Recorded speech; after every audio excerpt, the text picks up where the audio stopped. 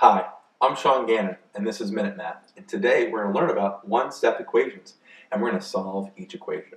So, if I was given this equation, 15 plus b equals 23. Well, I have 15 plus b equals 23, and I need to get the letter b by itself. Well, to do that, I need to bring the 15 over to the right-hand side. Well, how do I do that? Well, there's a plus 15, it's a positive 15, and I'm adding these two numbers together. Okay. If we use the commutative property, I could rearrange this to be b plus 15, positive 15, right, equals 23.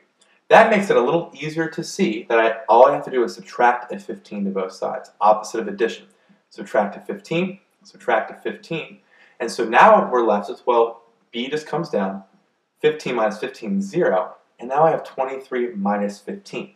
Well, how do I solve that? Let's use the, um, the traditional method.